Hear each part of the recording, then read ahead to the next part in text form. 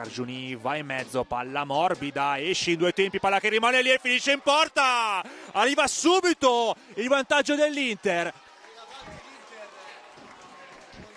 Perde il pallone Giuliani.